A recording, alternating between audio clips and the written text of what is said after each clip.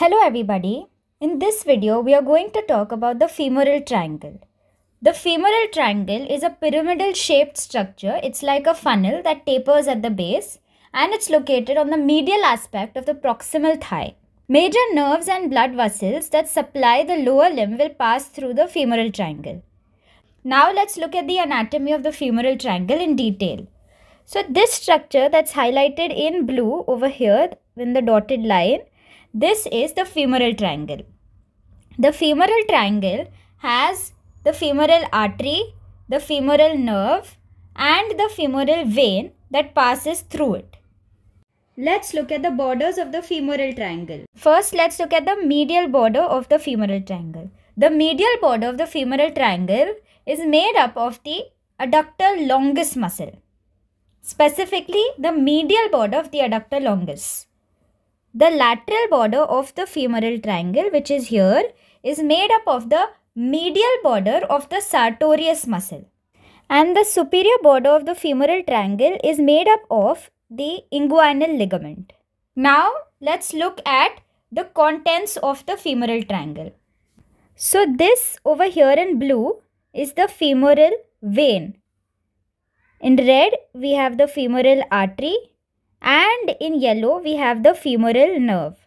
So, these are the contents of the femoral triangle. Now, let's look at the floor and the roof of the femoral triangle. The floor as in the base of the femoral triangle. So, this muscle over here is the iliopsoas muscle which forms the lateral base of the femoral triangle. Next we have the pectineus which is which can be visible over here which is one of the bases. And finally we have the adductor longus muscle which is also forming a floor of the femoral triangle. The roof of the femoral triangle is formed by the fascia lata or the deep fascia. Now let's look at the contents of the femoral triangle in detail.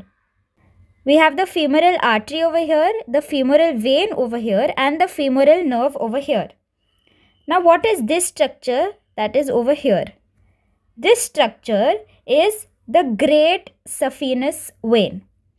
The great saphenous vein is going to enter the femoral triangle and drain its contents into the femoral vein. So it enters the femoral triangle through an opening over here and this is actually the opening on the deep fascia which is the roof of the femoral triangle.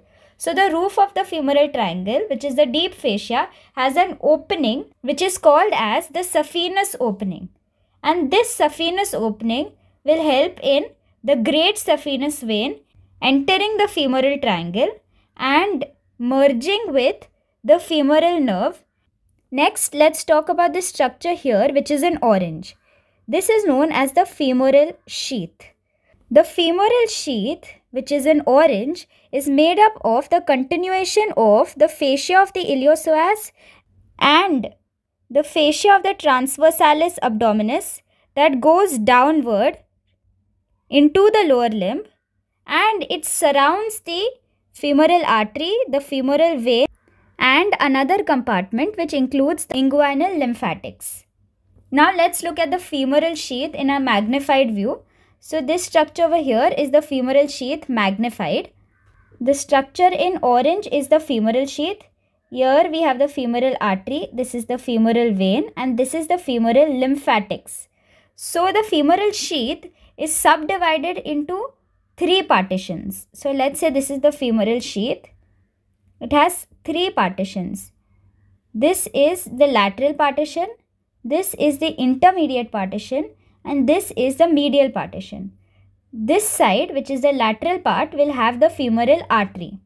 This side which is the intermediate part will have the femoral vein.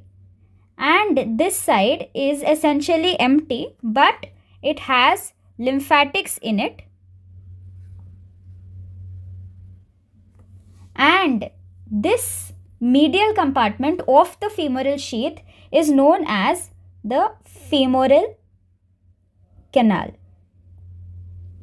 So to wrap up the femoral sheath, we can say that the femoral sheath it's made up of the continuation of the muscular fascia of the iliopsoas muscle and the transversalis abdominis muscle and this fascia is going to enclose the artery and the vein but it does not include the nerve which is an important point to keep in mind. Why do we have this empty femoral canal over here? When an infection spreads to the femoral region or the femoral canal, the lymph nodes will start getting inflamed. But due to the void space in the femoral canal, it will not affect or compress any other structures. Hence, the femoral canal is essential. Femoral hernia is also associated with the femoral canal. So, femoral canal is a very weak opening in this femoral triangle.